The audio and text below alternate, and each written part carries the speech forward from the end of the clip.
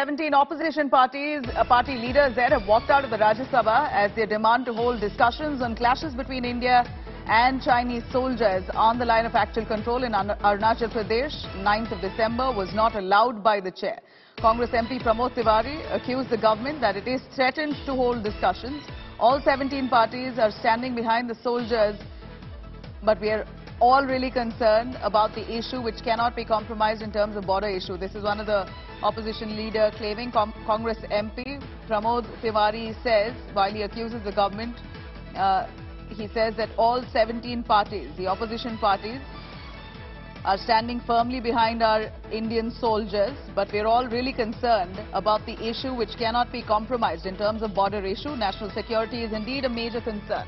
This is uh, Congress's MP Pramod Tiwari making a statement as 17 opposition parties have walked out of the Rajya Sabha as their demand to discuss the clashes between India and China in the Tawang region was denied by the chair.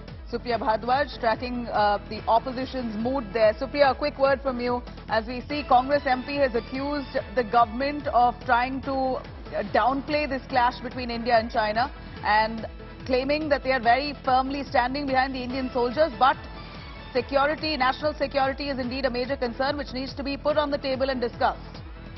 Well, Lavila, as far as the opposition is concerned, in the morning they met, and the uh, one major agenda of that meeting was uh, that how they're going to go all out and demand that a full-fledged discussion on the India-China LOC situation takes place. They're saying that it is not just about Tawang, it is also about Doklam, it's also about other areas uh, as far as LOC is concerned where these uh, clashes and face-off is taking place between Indian as well as the Chinese armies. So they are saying that uh, they want to know as exactly what is going on. They also, when Ma- Mallikarjun Kharge was speaking in Rajya Sabha, he mentioned as to how there was these homes, uh, bridges are being built uh, near the LOC and they said they want to actually bring out more information because even their MPs have gathered some information. They also want to put out uh, information in public domain and they are seeking a discussion. They are saying that nobody is uh, targeting, but yes, there are certain questions. The opposition is saying that the government needs to answer as far as the soldiers and the Indian army is concerned. They are standing firmly behind them, and they are also saying that a message needs to be sent across the globe that as to how the India is united and standing against this Chinese aggression. All right, uh, Supriya, thank you very much for joining us on that. Opposition parties now launching a unified attack against the centre in both parliamentary houses over the India-China clashes in Tawang region. Leaders of the DMK, the SP, Congress, Udhav Sena, CPM, RLD and several other parties have met at the leader of opposition Rajya Sabha Mallikarjun Kharge's office to discuss the opposition strategy in both houses over Tawang incident. Opposition leaders questioned why the centre was hesitating to discuss the issue in the parliament and why the incident was hidden from public. Meanwhile, Union Parliamentary Affairs Minister Prahlad Joshi has assured opposition that Modi government was open to discussions on Tawang.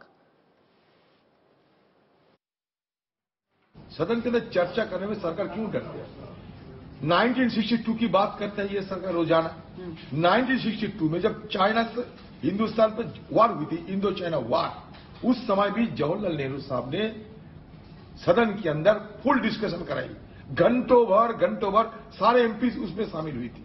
तो ये तो नजरा है। अब तो कुछ नहीं हुई। इंडो चाइना जंग हुआ, फिर भी जवाहरलाल नेहरू साहब ने कांग्रेस पार्टी उस समय सत्ता पे थे। सदन में भरपूर चर्चा कराई। राजनाथ सिंह जी स्टेटमेंट दे रहे थे। तब मैंने सवाल उठाया था कि 9 तारीख को घटना घटी। आज 13 तारीख हो गए चार दिन अब कहाँ थे? चार दिन क्यों सदन को ये अवगत नहीं किया किया गए? आम लोगों को क्यों नहीं इस संदेश दिया गया कि यहाँ चीन हमारे ऊपर हमलावर किए हैं? लेकिन हमारे फौज, हमारे जहाबाज फौज, वीर फौज इसके ऊपर पूरा गर्व है, अहंकार है। हमारे जहाबाज फौज आज से नहीं, आज़ादी के दिन से हिंदुस्तान की सरजमीन को रक्षा करते हैं। ये बात नहीं है, बात यह है कि सदन को अवगत कराना चाहिए। भारत और चीन के बीच जो अप्रैल 2020 से तनाव चल रहा है उस पर एक बार भी संसद में चर्चा नहीं हुई।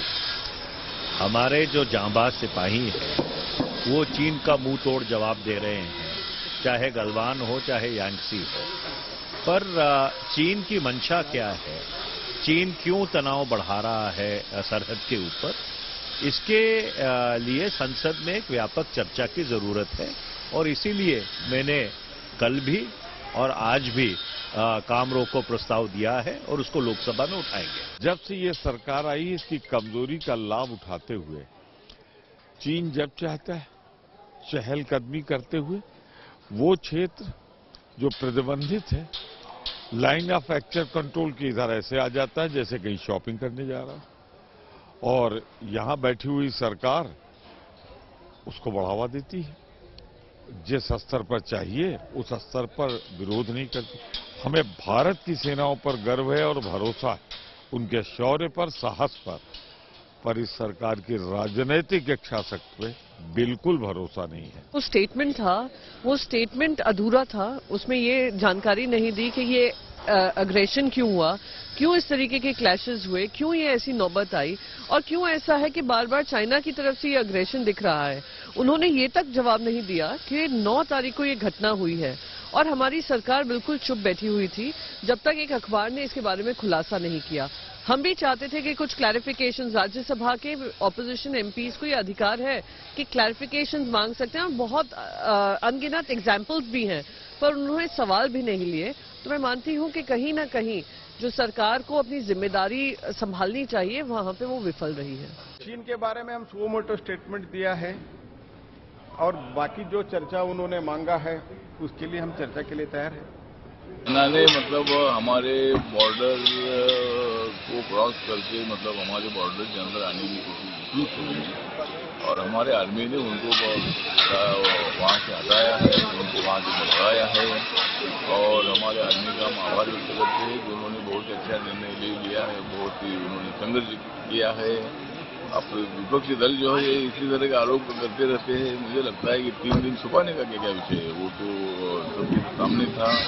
और जब चाइना के आर्मी ने इसी तरह की कोशिशें की थी तो उसको वहाँ से भगाने का काम बहुत ही उप हमारे आर्मी ने किया है।